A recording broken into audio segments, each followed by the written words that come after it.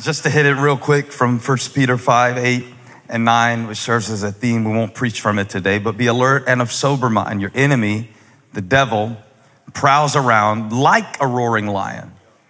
See, I always read it wrong. I thought he was a lion. I thought he was bigger than me and stronger than me. But I found out that he's just loud like a lion. And the place where he roars is in my mind that's where he's the loudest in the thoughts that I have. And so he's looking for someone to devour. Did you ever wonder why all those Twitter feeds and Instagram feeds and Facebook feeds, why they call them feeds? It's because they're eating your mind alive. Did you know that? And so he, he devours people in any way that he can. He's looking for someone. The command is resist him. But how many know it's hard to resist what you don't recognize? And if we're to resist the enemy, because I don't know about you, but I don't intend to live the rest of my life as a Christian and be a slave to my own imagination. Amen. I don't intend to live the rest of my life forgiven by Christ as a prisoner to my past and replaying memories of moments that have come and gone, but I can't escape them in my mind. And so I really intend, if it takes me the rest of my life, and it might, because it seems like sometimes I take two steps forward and three steps back, but I'm trying to get free. I'm trying to take my mind back so I can serve God with my mind and love the Lord my God with all my heart, with all my soul, with all my mind, with all my strength. And I don't want to be drained. So I go into each day with no energy and broken focus. I, I really want to be able to see clear the way ahead so I can follow Christ into my future. And that's the intention of this series. But in order to resist the enemy, we've got to recognize him or we'll spend our whole life resisting all the wrong things, resisting silence when sometimes that's where God speaks the loudest. Resisting or trying to avoid awkward situations. And God's middle name is awkward. He'll run out of food on purpose to see what you're going to do in an awkward situation. He'll sit down next to a disreputable woman at a well and make it awkward so the disciples have to decide if they really believe that this message is for everyone. And so let's take a look today at this idea of recognizing the enemy so we can see how he's at work in our lives. And this may be a weird title, but I want to call this message The Devil in 3D. What does he look like in real life? Not our cartoon image of him, our coloring book devil. Once we get the cape off of him and try to understand how he really operates to try to master our minds and set up a seat of influence in our souls through controlling our emotions, we can start to do battle. And, you know, Paul said one time, we are not ignorant of Satan's devices. Devices. Satan's devices. And of course, I don't think this is the devil, but I wanted to give you three things just to make it memorable that start with the letter D. And rather than continue on talking about Peter this week, I want to move into the Old Testament for a few moments and tell you a story about a Bible character that I know you've heard of named Moses. And I want to use this one example from his life. It's probably not the one that he would choose for us to evaluate because he made a great mistake and it cost him dearly. But hopefully, like 1 Corinthians 10 says, we can use him as an example so the same thing doesn't happen to us. How many of you want your kids to learn some stuff from your experience that they don't have to learn through their own pain? And so let's look at this. I'll, I'll read it to you. I'll be honest with you. I never preached on this passage before because I was intimidated by it. And really, it's a little confusing. You'll see that. It seems a little harsh what happens in this passage. And honestly, I knew that if I ever preached it, that God would probably speak something to me that I wouldn't want to hear because I relate to a little thing that happens in this Bible story, but I want to share it with you now. as we lean into this message the devil in 3D. And of course, Moses' devil was a little different than ours. He, he would have said Pharaoh, who was the ruler of Egypt, the, the one that he had to demand emancipation for the people of God from. He never really asked for that assignment, he didn't seek that assignment. He wasn't looking for a life purpose. God just interrupted what he thought was his, his, his second half of life and gave him something different to do and wasn't terribly convenient. But now we're looking at Moses at the end of his life. And this is what the Bible says, Numbers chapter 20, verse 1. In the first month, the whole Israelite community arrived at the desert of Zin, and they stayed at Kadesh. There Miriam died and was buried. There Miriam died and was buried. Now, there was no water for the community, and the people gathered in opposition to Moses and Aaron. And they quarreled with Moses and said, If only we had died when our brothers fell dead before the Lord. Why did you bring the Lord's community into this wilderness? That we and our livestock should die here. Why did you bring us up out of Egypt to this terrible place? It has no grain or figs, grapevines or pomegranates, Wi Fi or Starbucks Just trying to bring you into the text. I don't want you bored trying to listen to this Bible story. And there is no water to drink. Moses and Aaron went from the assembly to the entrance to the tent of meeting and fell face down. And the glory of the Lord appeared to them. That's when God's glory shows up when you've run out of answers. That's when God's glory shows up when you admit, God, I'm powerless to do this on my own. I need you, God. I've tried everything and, and still these people are driving me crazy, but I'm here at the entrance to the tent and I need you to speak. So for everybody who came into church with a cocky attitude today, talking about, I wonder what this sermon's going to be about and he better hurry up and get to it because I don't really even want to be here up here in that Karate Kid shirt looking like a Halloween costume. Say something, won't you? You're not going to get it. But those of you who came in here humbled under the mighty hand of God, he might just speak because you're listening. Now then, the Lord said to Moses, verse 7 Take the staff, that same staff that you raised over the Red Sea and it parted, that same staff that you initially threw on the ground, and I proved who I was to you because I turned the staff into a snake and you picked it back up and it became a staff again. That same staff that turned the Nile River into blood until your enemy had no choice but to release you from bondage. That same staff that when you raised it up, the Amalekites were no match for the Israelites. That same staff, take it now.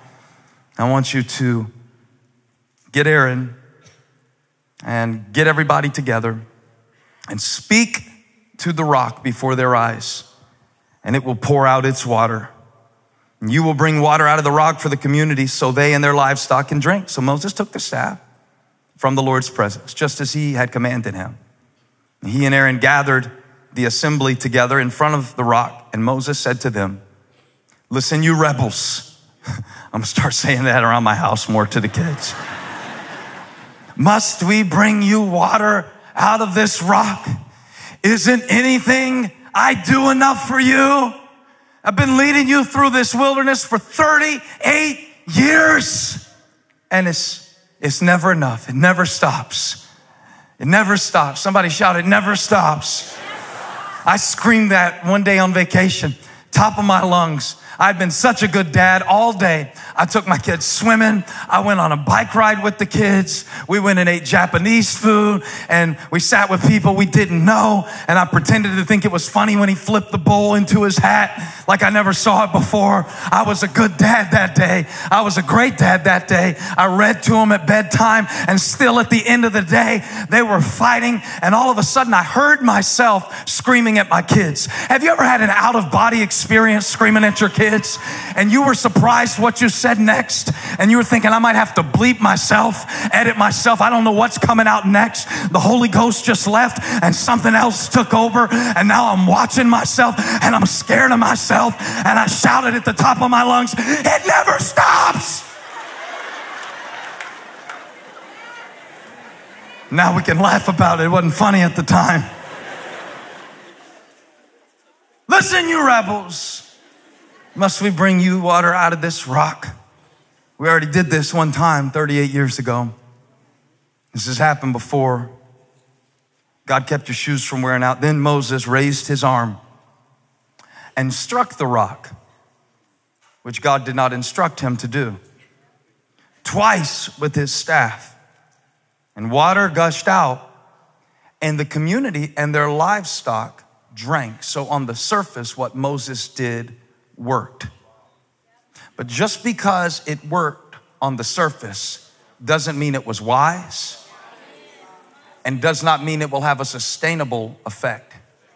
And this is why when you control people with your anger or your pouting or your manipulation,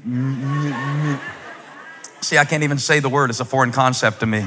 Manipulation, you end up very lonely because the cost of controlling people is to end up alone.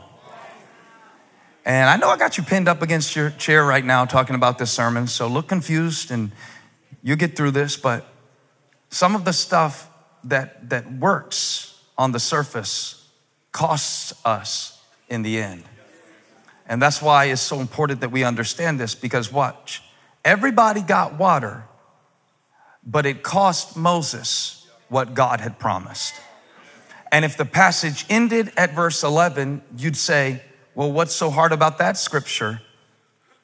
Unfortunately, verse 12 tells that even though the water came out of the rock, what came out of Moses' heart in that moment prevented him from going further into God's promise.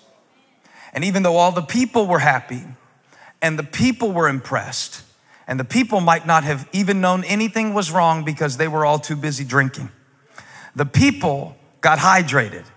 The people got what they wanted, but Moses lost what God had promised. Verse 12 The Lord said to Moses and Aaron, Because you did not trust in me enough to honor me as holy in the sight of the Israelites, you will not bring this community into the land I give them. These were the waters of Meribah where the Israelites quarreled with the Lord and where he was proved holy among them. Makes me wish I would have paid more attention in my Hebrew class because if I knew that Meribah means quarreling, I would understand that God does some great miracles in places of great conflict. You know, it's funny all the little things we miss if we read the Bible in English because the interpretation sometimes the writers will put little humorous things in there that, that I wouldn't know to look for. But this particular word play, if you go back to verse two, and I told you I'm gonna give you three D's, and I am. The first one is deficit, because he is describing a deficit that the people of God are in. It says in verse two, there was no water for the community, and the people gathered. Now, the Hebrew word for gathered here that he uses is a word that means to come together for the purpose of conflict. And see, I didn't even know Facebook was in the Bible. Talk to me. They call it a community, but the community came together to quarrel. Isn't that a nice word? To quarrel. Not, not, to, not to fight, not to argue, but to quarrel. And so they're, they're fighting with each other and they don't have patience, but they don't have patience because they don't have water. And before we're too hard on them, these complaining Israelites, we need to consider that this was a matter of life and death. This is not the barista messed up your order and forgot that you prefer almond milk. This is something different. This is, we can't live but a few days without water, and so we're desperate. And I've noticed that when people get desperate, they start doing things they wouldn't normally do. Have you noticed this about yourself? that, that when you get desperate, you get edgy, you get touchy, and sometimes you're lashing out at people, and it's not about the people. Like I had to explain to the kids about my road rage. It's not really about the driving. It has nothing to do with the driving. It's just that dad finds this a convenient place to be shielded and anonymous where I can let some stuff fly that's been building up. Y'all don't want a real preacher. JJ, you preach next week. Fake them out. It's a whole thing because they came together to quarrel. And what they didn't know, couldn't know, is that they were on the border of Canaan. The land that God had promised them was just a few short months away. But in a time when they should have been preparing to conquer, the enemy had them in a state of conflict. Don't you understand that the reason that you've been fighting like you've been fighting and even the reason sometimes that the devil will get you focused on fighting against people is because God is trying to bring you into what he spoke over your life and the promise of his inheritance in the saints. And now the closer you get to that promise, the greater the conflict is going to be. I think one of the reasons that our church gets so divided is because the enemy knows that if we would ever stop fighting and focus on the mission that we were given by our captain and the savior of our souls, we would be dangerous to the kingdom of darkness. But we can't come together because we quarrel too much. It never stops. We never quit finding new things to fight about. It's not only that Christians fight against other religions, we can subdivide on a, on a multiplicity of different levels of Christianity, and we can get into little groups so that we no longer come together to lift up the name of the Lord and to take this message to the ends of the earth. But now we're fighting over a translation of the Bible, or we're fighting over what you wear to worship, or we're fighting over what specific nuance you believe about the Holy Spirit.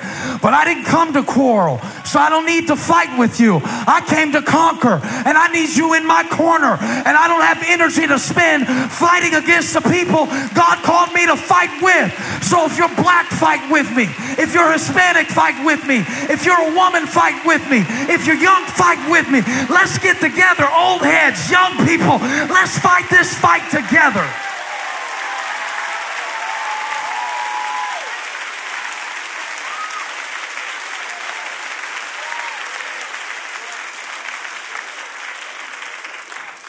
There's no water in the wilderness.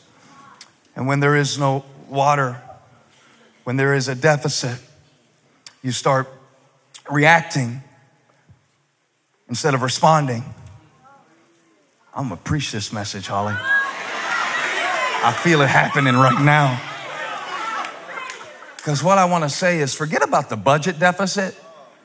We got a whole lot more than a budget deficit in our nation today and it's a different deficit than they faced. It's not a lack of water. I feel like in our world today, we are severely lacking in our ability to empathize with others because we've got a, a surplus of opinions and a deficit of empathy.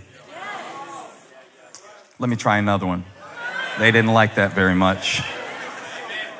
We, we have a, a surplus of information and a deficit of wisdom. Because if we don't have insight into information, we will get caught up in highlights and headlines and highlights and headlines and highlights and headlines and highlights and headlines, clicking on crazy stuff and not even bothering to read anything but the first sentence. And then somebody wants to ask me, Do you really have a water slide on your stage in the church? Because you don't want to come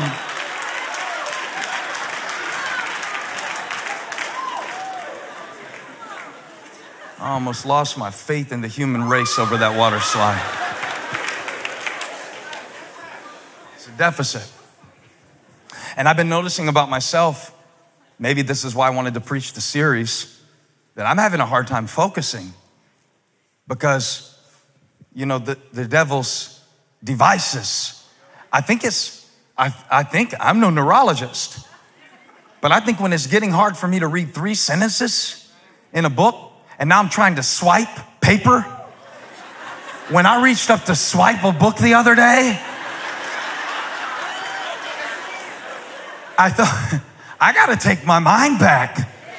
Actually, next week, if the Lord will enable me and help me, I'm to try to preach on that very subject of focus. Because I'm talking to more and more people who feel like their mind is fragmented and can't hold a thought and, and it's not just because you're getting old and fish oil won't help it. There's some principles in the Word of God about distraction that we need to look at. It's a deficit. A deficit where we have more ways to communicate and we're connecting less than ever. I think that's what the skyrocketing porn rates are about. I think that's what the skyrocketing sleep deprivation rates are about. We are desperate to connect. And we call ourselves connected, and nothing could be further from the truth. And it's too much. Costa called it too much to live with, too little to live for. It's a deficit, a deficit of meaning, a, a deficit of insight. And when a deficit is left unaddressed, you know what happens next disappointment sets in. And that's the second D is disappointment. Because I'm looking at how the Israelites are talking to Moses, right? And I get it. I get it because when you don't have what you need to live, you start doing things that you would not normally do. And it's not even you, and you always want to explain to people sometimes, I don't even know who that was. I'm so sorry. Can we take back the last five minutes? And sometimes you can't. Sometimes you can't undo it. And what the Israelites said to Moses here apparently hit that button. Now, everybody has a button. All of you who are calm, we just haven't found yours yet. really, everybody has a boiling point. Everybody has something that if you hit that, you will see a different version of them. and you will completely change their Enneagram number if you hit the right button. They'll go from a seven to a two, a peacemaker to a shooter, and it can happen so quick. Moses, the man of God, is violently striking a rock when God is trying to show his people grace. But the reason he did it, and this is why I can't figure out sometimes in my own life where it comes from, because I find things coming out of me and I'm confused about where it came from, because I know I'm not mad about what I'm mad about, because it's not a big enough deal to make me as mad as I am about what I'm mad about. Please help me preach to you. We're in this together. And they just got done telling him they wanted to die, and it's his fault. Because anytime you are facing a deficit in your own life, you start looking for someone to blame. Anytime you are confronted with your own barrenness or brokenness, you want to find somebody else or something else whose fault it can be. And the first thing we do when we run out of resource is to look for someone else to take responsibility. If only we had died when our brothers fell dead before the Lord. Why did you bring the Lord's community? Why didn't my mom? Why wasn't my dad around? All these are reasonable things to say, but they don't really help the situation. They only make it worse. Why did you bring us out here into this wilderness that we should die here? They weren't actually about to die.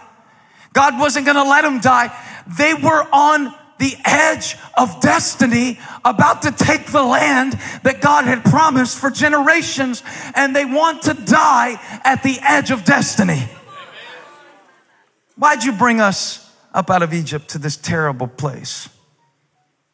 There we had figs, there we had grapevines, there we had pomegranates, there we had grain. I forget to mention the whips. They forget to mention the mud and the straw. And they begin to glamorize a past that really didn't even exist.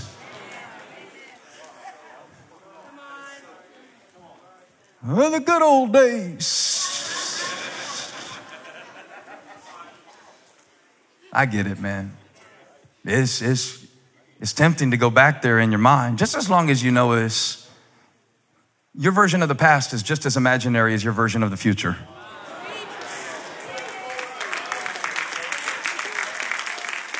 Back in Egypt, the place that you were praying God to get you out of. Oh, I never forget this. One time a lady came to me, she said, um, You need to change some things in the church, very early in the church. And I was, woo, I was cocky. I was 28. So what I said next, don't hold me responsible, there's statute of limitations. She listed everything she wanted me to change in the church. Change this and change that and change this and change that. And either the Lord or the devil prompted me to say what follows. I said, So you want me to recreate the church that you left to come to this one? I didn't mean it how it came out. I meant to say, I'll pray about it. I am but a servant in a vessel. Just gushed out, came out. Frustration. See, understand that frustration operates when your experience is different than your expectation. So when you are frustrated, it is not your life that you're frustrated with. It's your life compared to your expectation of your life. That's what makes you frustrated. It's that it normally takes me 13 minutes to get there, and today it took me 30. And I didn't plan for that. And so, since I was already at a time deficit and a sleep deficit, and I didn't put margin on this trip, now I find myself frustrated. I'm not really frustrated at how long it's taking. I'm frustrated about how long it's taken compared to how long I thought it was going to take. And one of the best things we can do for our peace of mind is to crucify our expectations of others. I mean, really, just put it up there on the cross and get to the place where we no longer have an expectation of people to meet our needs because we understand that our water flows from a different rock, that our joy flows from a different place. Come on, EFAM, shout at the phone that I don't I don't depend on people to provide for me what God has promised. It's already mine. And so they got really upset, man. And, and then Moses got upset and he went to God and he wanted God to be upset like he was upset. And Moses was mad because God wasn't mad. That's, that's what happened here. He was disappointed. It never stops. After all I've done for you, I've been here before. I have been here before. Even, even in high school, when I was the athletic trainer, water boy for the football team. Coach Meyer recruited me to be the athletic trainer, said you could get a scholarship. And one day I was mixing that Gatorade, so sweet, and I thought, I don't think they give scholarships for this. I think he tricked me into this, you know. I kind of didn't like it anyway. It wasn't like I really cared too much about football. Football's fine, I'll turn it on. I'm not like some of y'all fantasy lineups and stuff. I got a real life. I'm just kidding, I'm just kidding, I'm just kidding. It's fine, it's fine, it's fine, it's fine. I'm just kidding, I'm just kidding. It's fine, it's fine, it's fine. But man, it was a relatively simple job. I did it for over a year. And the main part of the job, you know, every once in a while they would let me tape a wrist or an ankle. I think it wasn't even really people that was hurt. I think they just sent cast members over. Because if anybody was really hurt, Dr. Bounds came in. So I don't even think I was really taping anybody. I, I don't even think it was. But, but I, I did have one, one job. And every time they would have a water break, it was my job to turn on the water. That's right. Bobby Boucher got nothing on me. Well, I did it like clockwork. They blow the whistle. I was positioned close enough to the spigot, which was connected to the hose, which went to the PVC pipe. In Moncks Corner, it was fancy with a PVC pipe with the holes in it, a trough of sorts, with the water would come out of the pipe but I was the man who turned it on. And I turned it on about three or four times every practice. And one day I went over there to turn it on and nothing came out. I don't know who forgot to pay the bill, but nothing came out. And those football players went to drink and they lined up at the PVC pipe and nothing happened. And they started yelling at me like these rebellious Israelites started yelling at Moses, started yelling at me, calling me Steve. I don't even go by Steve. There's an N on my name. Pronounce the consonant. This ain't Wheel of Fortune. Oh, I was mad. Yelling at me for the one time the water didn't come on. Hundreds of times the water came on. One time it didn't come on. And guess what? I'm not controlling the water. I'm just the one turning it on. So they were yelling at me. So I, I wasn't saved yet. Let me get that in. So I turned around and said, God bless all y'all. Only instead of God bless, I said some different BC vocabulary that is not appropriate for this church setting and holy people such as yourself. And in that moment, I forgot they were bigger than me because I do have a level of crazy that if it kicks in, I will stop caring how much bigger you are, and I would rather die than have you cuss me out. I got in my Toyota Tercel and I drove off. So, it all just kind of came back to me, man. I'm sorry.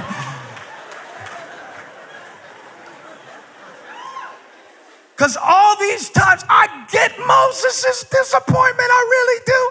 All these times. And this one time, all I've done for you, all the meals I've cooked, all the prayers I've prayed, all the compliments I gave, all the Christmas presents I bought, all the sacrifices I made. And you mean this one thing, this one time, and now you want to yell at me and disrespect me and ignore me? I figure Moses is tired of being taken for granted tired of people just assuming that you're always going to do it and it's just easy for you. Until I realized that Moses wasn't really disappointed with the people. Moses was still dealing with a fear that he had carried with him since the time God met him at the burning bush, and possibly before that, 40 years earlier when he killed an Egyptian to try to rescue one of his fellow Hebrews. And he never really fit in because he was raised as an Egyptian, but he was by birth a Hebrew. And when he tried to defend the people that he was one of from the people that he had had to live with, Moses ended up having to run. That's why he ended up in the wilderness with the shepherd staff to begin with. And that's why when God met him at the bush, Moses said, You got the wrong one. Pick somebody stronger, pick somebody more capable, pick somebody with more experience, pick somebody who doesn't struggle with what I struggle with. Because I'll let you down, God, and I'll let them down. And not only, not only is Moses dealing with this moment, but he's dealing with 40 years of frustration. 40 years of frustration that you could argue were the result of his lack of faith when he didn't go in and fight and take the land God had promised. In a sense, what they're saying about Moses is true and he knows it. It's not him he's dis- it's not them that he is disappointed in.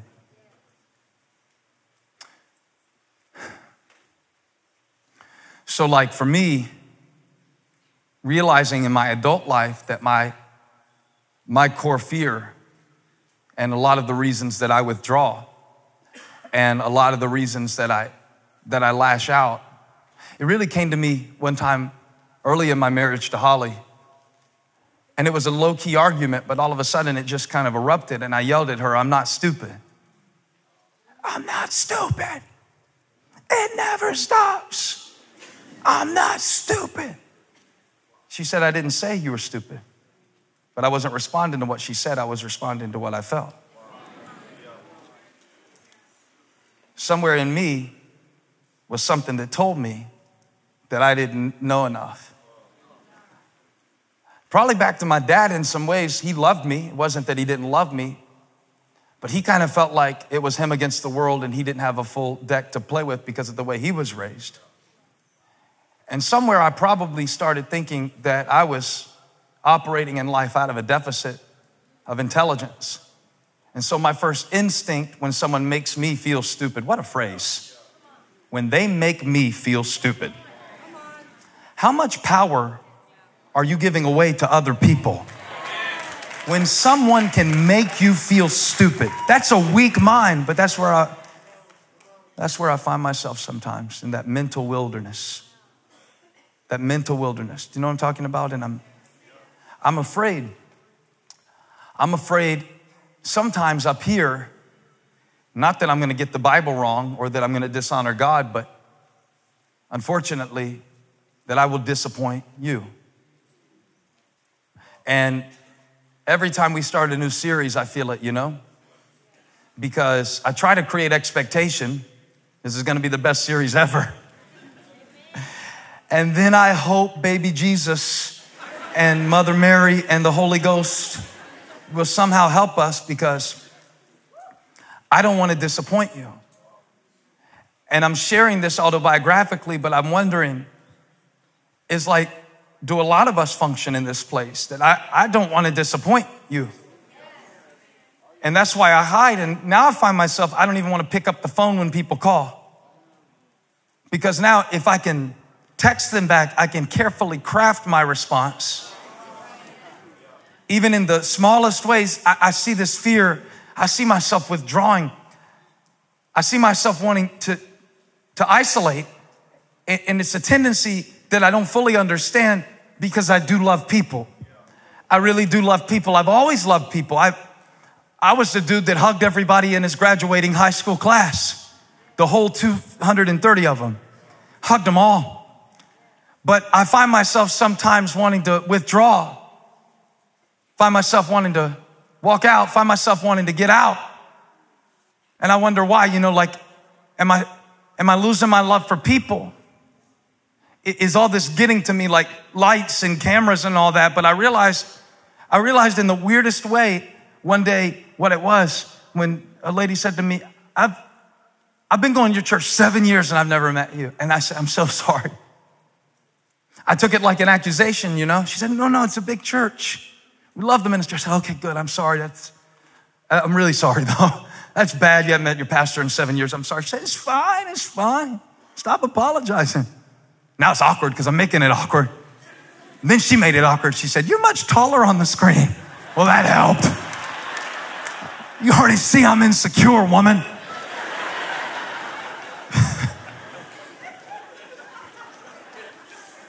But I don't want to let you down. You know, so so when Moses has this moment, and I'm calling it a moment, but it's really not a moment. Because anytime something comes bursting to the surface, like Moses hitting that rock twice, when God specifically spoke to him to speak to the rock, not to strike it. And I know why he struck the rock because this is the third issue. It's the issue of dependence. You know, this staff was the thing that he carried with him. Like Tom Hanks had a volleyball, Moses had a stick. And now, in this moment where the community needs water, and this is to be their last test, but they don't know it. This is to be their last test to see if they really trust God, and Moses fails the test. What I could not understand is why did God tell him to take the stick if he didn't want him to use it? Why did God tell Moses, take the staff and and then don't use it, just hold it and speak to the rock. Until I remembered what Moses said to God when God first called Moses I'm not good at speaking.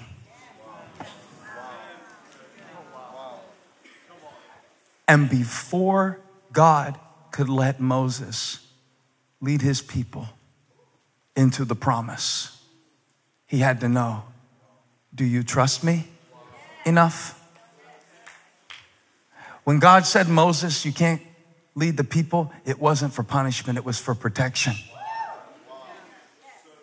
If Moses would have led them in in the condition that his heart was in with years and years and years and years of resentment building up, they would have all got killed the first time God spoke and they didn't do what he said. Because God needs someone who is not dependent on their staff. I know you struck the red, the Nile River and the Red Sea, and I know that this staff has been used to perform great miracles. And I want you to hold it in your hand, but have the faith not to use it. I want you to speak to the rock. And he struck it instead. And God said, You don't trust me enough. You've allowed this resentment to build to a point that it has killed your potential. When we allow resentment to build and build and build and build, when we never really believe that we are what God said we are, when we are constantly taking people's assessment of us as the ultimate reality, it limits our participation in the promise of God. It doesn't keep God from loving you, but it keeps God from being able to lead you into the great and precious promises that have your name on them. God said, I just need you to trust me. I know you stutter. I know you stammer. I know you're afraid of letting me down, but it's never been about you, Moses. It was never about your mouth. It was about my mighty hand and my outstretched arm. It was never about your rod. It was about the, the rock. So, what are you trusting in today, my friend? The rod or the rock? Because 1 Corinthians 10 tells us plainly that this happened as an example for us. That the Israelites who wandered in the wilderness were an example for us, for you and me, in our daily lives, in our efforts to trust God in the face of our own frailty. He said, the Apostle Paul said, verse 4, they drank the same spiritual drink. They drank from the spiritual rock that accompanied them. Here's the revelation. And that rock was Christ. It wasn't about Moses. It's not about me.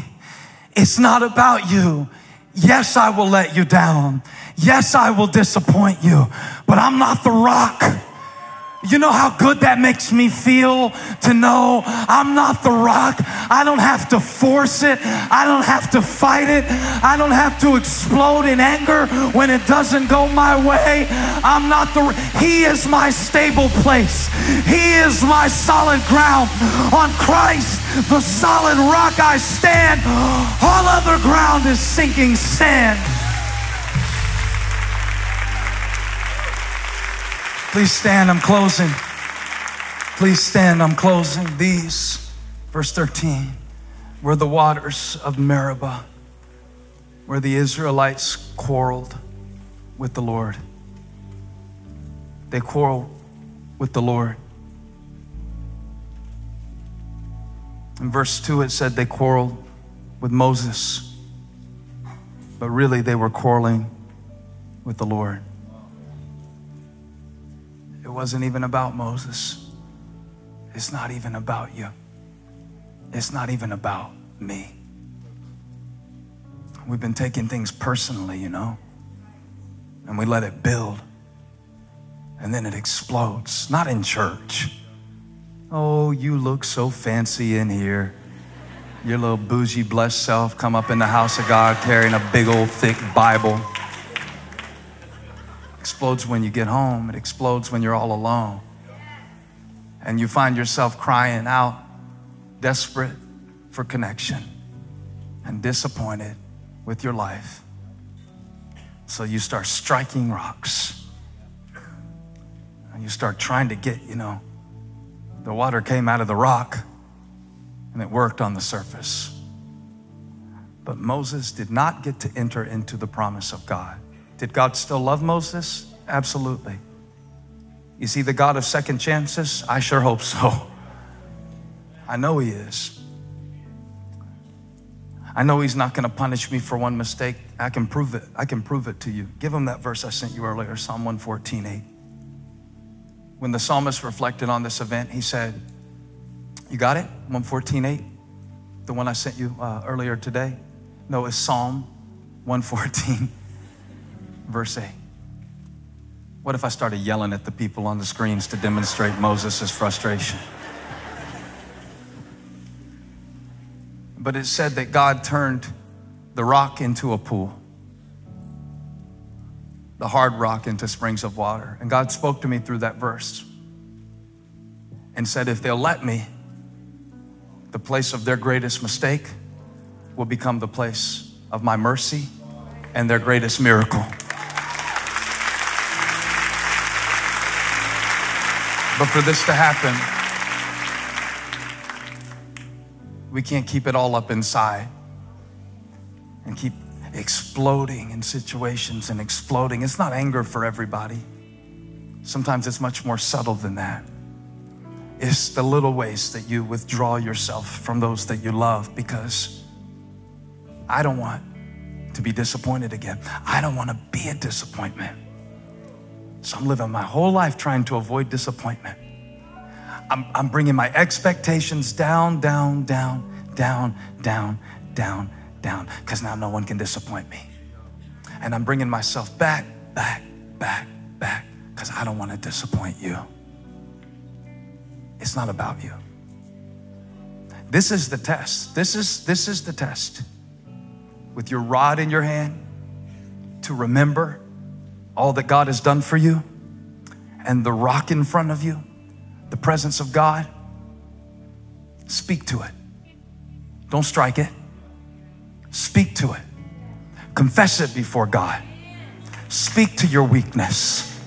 Own your inadequacy. God said, I'm not, I'm not, I'm not looking for you to be what I need you to be. I'm looking for you to trust in what I already am. And so when Moses said, I'm not, God said, I am. When Moses said, I'm not, God said, I am. When Moses said, I'm not, God said, I am. When Moses said, I'm not, God said, I am. Do you trust Him enough to let Him handle those who have hurt you? Do you trust Him enough to allow Him to use everything that's happened for your good and His glory? Lift your hands if you do. The rock is in this place. When my heart is overwhelmed, lead me to the rock that is higher than I. Meet us in this moment, God. Pour out your spirit in a fresh way for your people now. I ask that you would speak to that weak place, broken place, discouraged place. Make that heart beat again for real. Water from a rock. Beauty from brokenness. Call to it. Call to it. Speak to the rock. Ask it. Enter my decision making process, God. I need you. Hey, thanks for watching the Elevation Church YouTube channel. If you enjoyed this message, take a minute, click the subscribe button on your screen. That way you won't miss a single video. And if this ministry has impacted you and you'd like to partner with us to continue to reach others, you can click the link in the description below to give now. Thanks again for watching, and don't forget to subscribe.